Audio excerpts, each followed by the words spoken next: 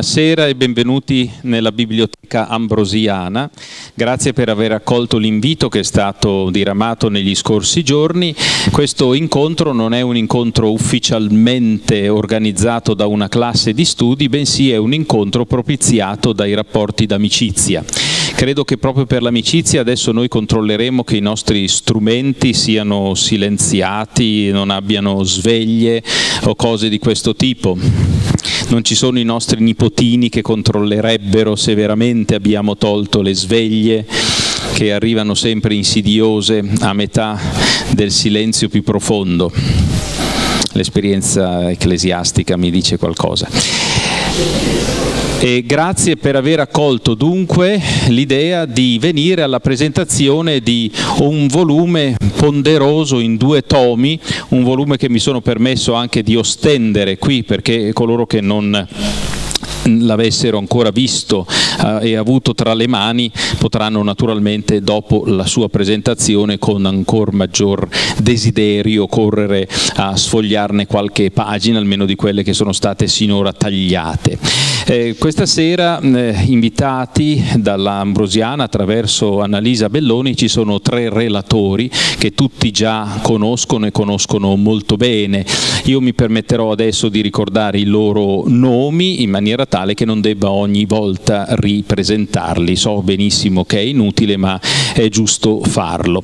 Il primo ad intervenire sarà il professor Antonio Sartori, già di epigrafia romana dell'Università degli Studi di Milano, che qui in Ambrosiana però è accademico perché è membro della classe di studi greci e latini della Accademia Ambrosiana per l'appunto. Il professor Sartori è uno, posso dirlo, dei membri più attivi ed è forse colui che, anzi sicuramente sicuramente colui che ha permesso all'epigrafia di tornare ad essere studiata in ambrosiana ed è la ragione per cui spero di non dimenticarmi al termine di questo incontro di eh, rivolgere un invito per il giorno primo di febbraio quando si svolgerà l'incontro intorno a un'epigrafe, dirò meglio alla fine della presentazione del volume. Dopo Antonio Sartori, credo che da Firenze sarà la professoressa... Ah no, chiedo scusa, infatti già sbagliavo, ecco, quindi nell'ordine che vediamo, anche se potranno scegliere tra quattro sedie diverse, sarà il professor Diego Quaglioni dell'Università di Trento, docente di storia del diritto medievale e moderno, a prendere la parola. E poi ecco, la professoressa Concetta Bianca dell'Università di Firenze eh, di filologia umanistica. Eh, credo che sia assolutamente inutile continuare a parlare perché eh, adesso vogliamo ascoltare invece i relatori che prenderanno per cortesia subito la parola.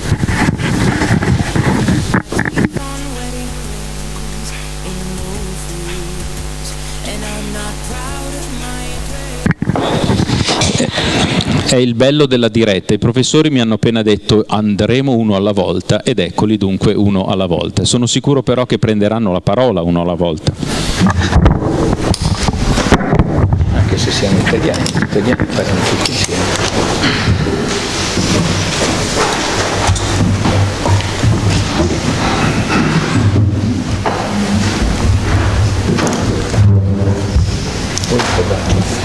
Posso cominciare così?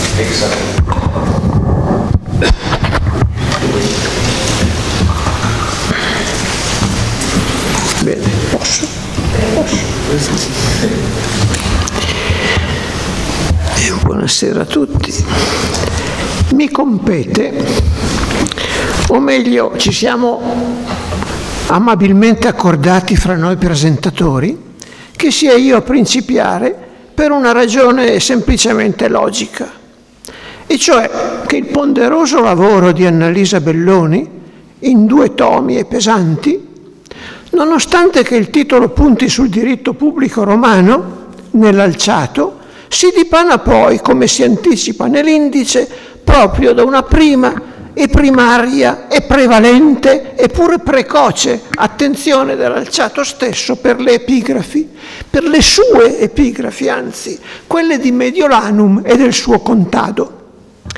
E le epigrafi, quelle latine antiche di età romana, sono state il mio pane quotidiano talvolta duro ma sempre saporito da oltre 50 anni. Dunque da esse vorrei prendere spunto, ma no, non è perché le epigrafi antiche siano per loro natura lapidarie e succinte, mirabilmente prosciugate a quel poco di essenziale che però condensa il tutto, ma devo riconoscere che, che non ho parole, o che poi fa lo stesso, non trovo parole adatte per presentare un'opera che pietrifica, per rimanere in un ambiente lapideo, che pietrifica ogni velleità di valutarla e persino di presentarla, tanto è inesorabilmente completa e definitiva, che non è un buon inizio per me. E allora potrei girarla dicendo così, degli studi dell'alciato una vasta bibliografia si è congregata fino ad oggi e nel futuro non sarà da meno negli incrementi certamente più difficili di prima. Ma d'ora in poi, ecco, si dovrà distinguere un AB e un DB, un avanti Belloni e un dopo Belloni. Perché l'alciato, dopo questi massicci volumi, non sarà più quello di prima per una sorta di illuminazione o di rivelazione minuziosa ma grande di cui Annalisa Belloni ha portato l'Evangelo. Se penso che anch'io posi mano all'organizzazione del convegno Andrea Alciato Umanista Europeo ad Alzate Brianza nel, correva l'anno 1993 e del nostro si definisce qui un'origine almeno di famiglia dal Novarese legandosi poi ad Alzate Brianza solo retoricamente a posteriori. Se penso che si favoleggiava un tempo di un codice da collezionista epigrafico, redatto o incominciato da adolescente, confondendolo poi nel solenne ed elegante codice di Dresda, ben più maturi invece, che non il suo taccuino tanto più spontaneo, persino patetico, che è quello sì più precoce giovanile, la cosiddetta silloge Trotti 353 qui in Ambrosiana, ecco che tutto, o tanto almeno dell'alciato, cambia anche per me. Ma di un Evangelo, dicevo, un po' retoricamente lo riconosco, eh, per l'opera di Annalisa Belloni. E se un Evangelo non innova e stupisce, e comunque un Evangelo in fieri, perché non è finita qui?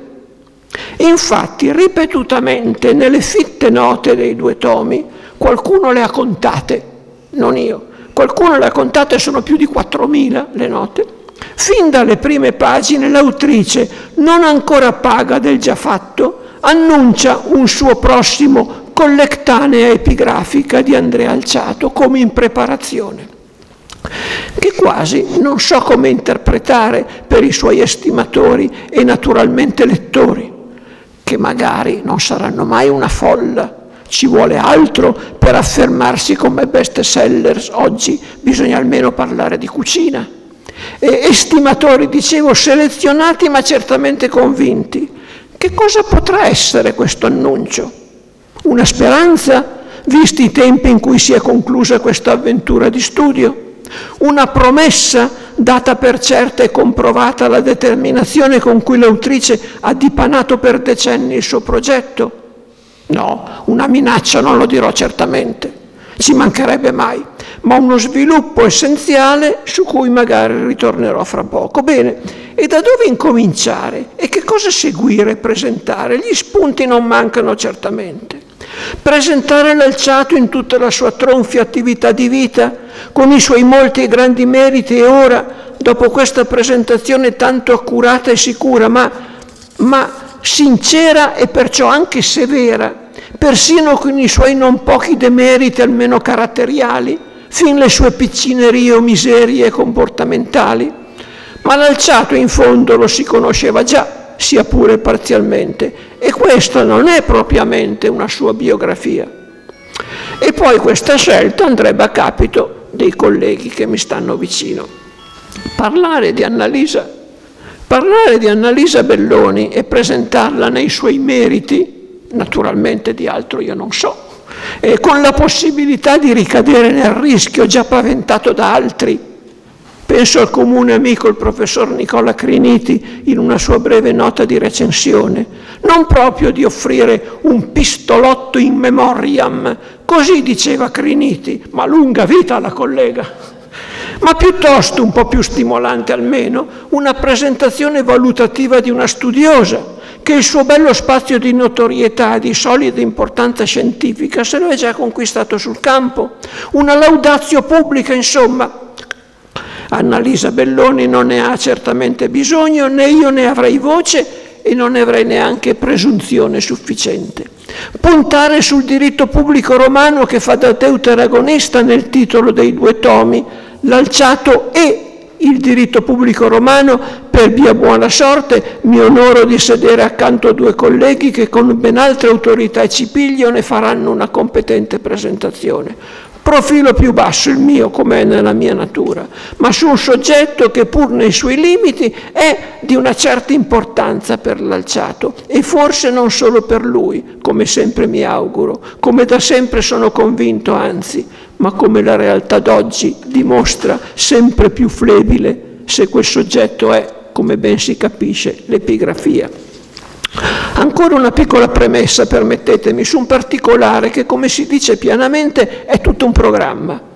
Il titolo globale dei due tomi non si conclude così, l'alciato il diritto pubblico romano, ma una postilla successiva, I, ovviamente i codici, Vaticano, Latino e seguono tre numeri. Nutrimento e linfa e spunto, oggi si direbbe carburante ma non mi piace, di tutta l'opera.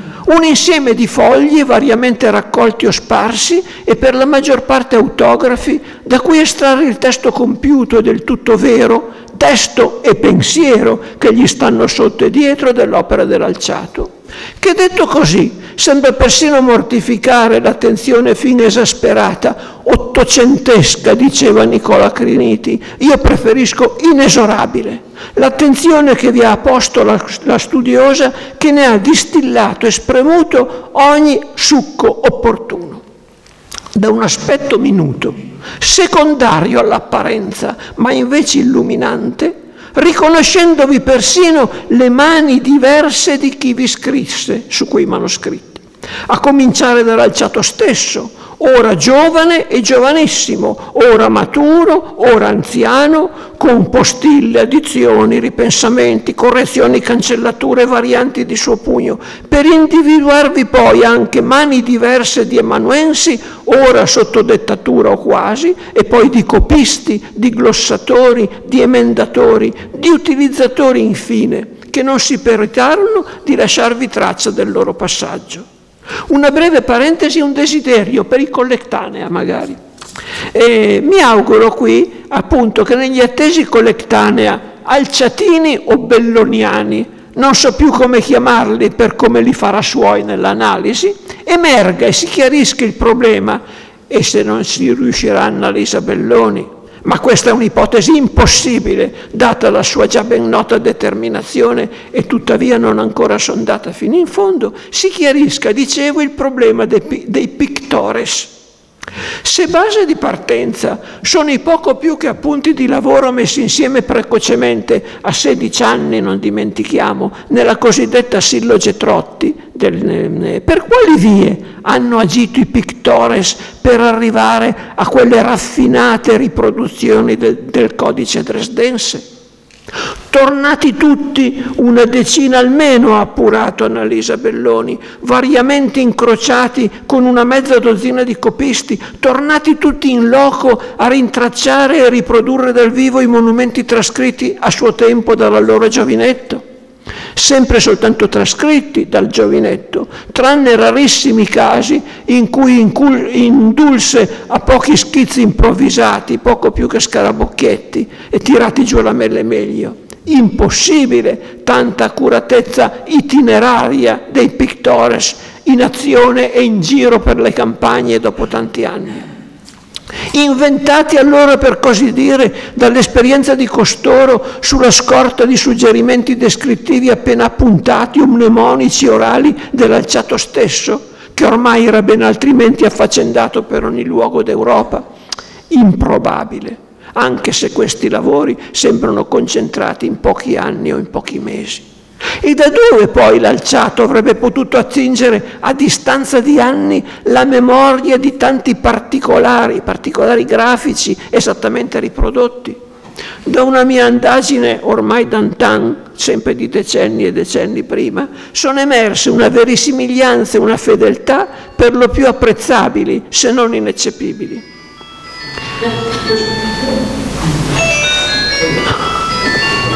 Non so, ma comunque fa parte dell'insieme.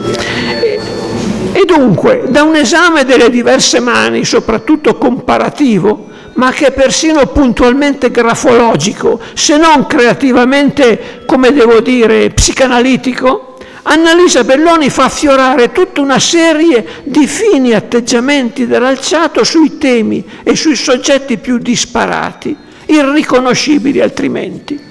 Ma il mio profilo di cui dicevo è ancora più basso perché mi appunto piuttosto e non potrei altrimenti per una deformazione professionale maturati in oltre un cinquantennio di monomania, una specie la mia di silicosi dello spirito, ecco.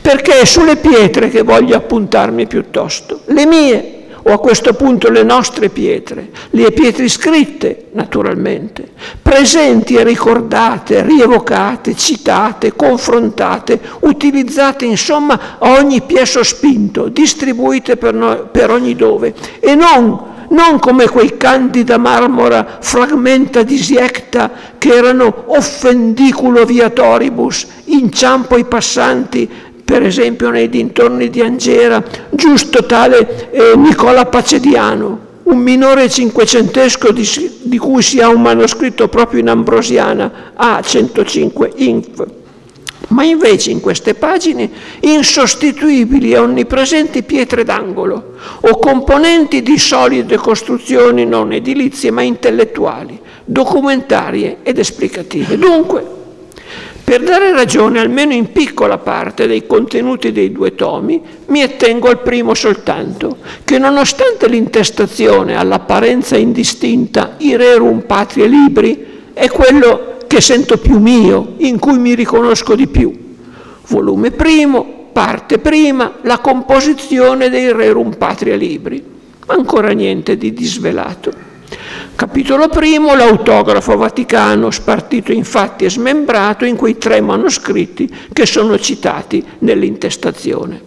Ma nel capitolo secondo ecco i Rerum Patria Libri e le sillogi epigrafiche. Ecco dunque ci siamo.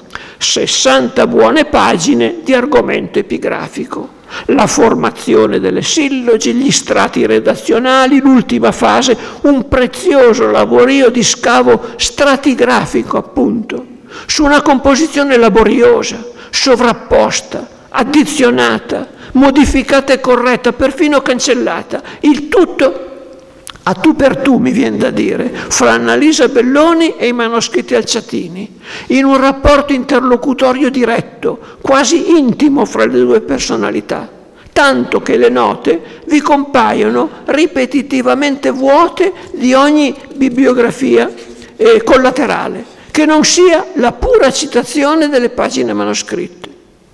Ma sono 60 pagine su oltre mille, tutto qui mai accontentarsi in un libro, sia pure nel primo tomo, di una prima scorsa dell'indice o del taglio delle pagine. Sempre suggestivo l'uso antico del tagliare le pagine, antico davvero, simbolica appropriazione di un corpo libresco e si spera dei suoi contenuti. Perché quelle poche pagine, pure dense, fa seguito una seconda parte antiquaria, storica, istituzionale. Parte seconda, il diritto pubblico romano a Milano. Ecco, ecco l'intento preciso dello storico locale, l'alciato, con la necessità di proporzionare e ambientare le sue osservazioni in uno spazio circoscritto, quasi vernacolo e di necessità incompleto, salvo sue, sue dell'alciato, superfettazioni anche un po' o un po' tanto forzate per colmare certe lacune non documentabili. Dunque il diritto pubblico romano a Milano è, così continua il titolo, è l'amministrazione centrale, nel corpo della quale parte inserire armonicamente tutta una serie di applicazioni riscontrate nella storia di questi nostri luoghi, che non sono solo spezzettate, ma anche originalmente interpretate e praticate entro la realtà locale. E l'epigrafia?